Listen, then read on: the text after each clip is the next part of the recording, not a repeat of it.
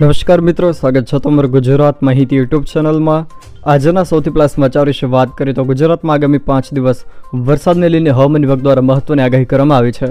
આવતીકાલથી બે દિવસ રાજ્યમાં વરસાદના પ્રમાણમાં ઘટાડો થશે. જોકે કેટલાક છૂટાછવાયા વિસ્તારોમાં સારા વરસાદી ઝાપટા પણ વરસી શકે. જોકે ત્રીસ અને પહેલી તારીખે રાજ્યમાં વરસાદનું પ્રમાણ વધશે. ત્રીસ અને પહેલી તારીખે રાજ્યમાં સાર્વત્રિક વરસાદની આગાહી કરવામાં આવી છે. જોકે કેટલાક વિસ્તારોમાં ભારેથી અતિભારે વરસાદની પણ શક્યતા વ્યક્ત કરવામાં આવી છે. તે સિવાય જો વાત કરવામાં આવે તો સૌરાષ્ટ્ર અને દક્ષિણ ગુજરાતમાં અટકી ગયેલું ચોમાસું આજે આગળ વધ્યું છે.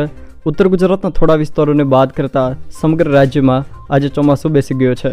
તે સિવાય જો વાત કરવામાં આવે તો ગુજરાતના દરિયાકાંઠાના વિસ્તારોમાં ભારે પવન ફૂંકાવાના પગલે ભાવનગરના ઘોઘા તેમજ દીવ સહિતના બંદરો પર ત્રણ નંબરનું સિગ્નલ લગાવવામાં આવ્યું છે.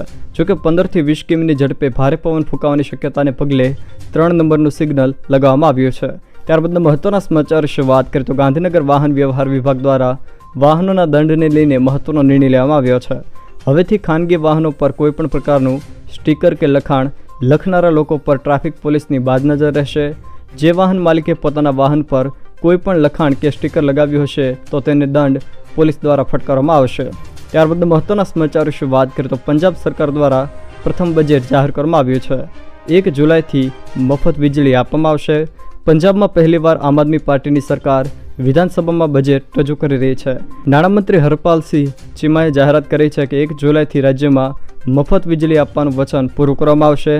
નાણામંત્રીએ કહ્યું કે પંજાબના દરેક ઘરને એક જુલાઈથી દર મહિને ત્રણસો યુનિટ મફત વીજળી આપવામાં આવશે. જોકે પંજાબની માન સરકાર આ યોજના માટે નાણાકીય વ્યવસ્થા કરવા માટે તૈયાર છે. જો મિત્રો આ વીડિયો તમને પસંદ આવ્યો હોય તો વિડીયોને લાઇક કરો, તમારા મિત્રો સાથે શેર કરો અને જો તમે મારી ચેનલમાં નવા હો તો ચેનલને સબસ્ક્રાઈબ જરૂર કરજો, જેથી મારા આવનારા તમામ વિડીયોની માહિતી તમારા સુધી પહોંચી શકે.